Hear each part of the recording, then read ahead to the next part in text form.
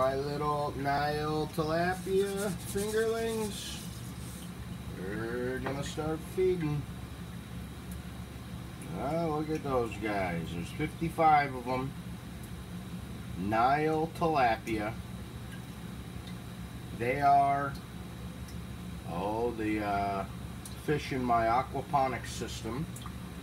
It's about a 170 gallon tank. There's some more food. Look at them go. They're getting big. When I got them, you could barely see them in there. They're little tiny fingerlings. And now they're, oh, I'd say about three three and a half inches long.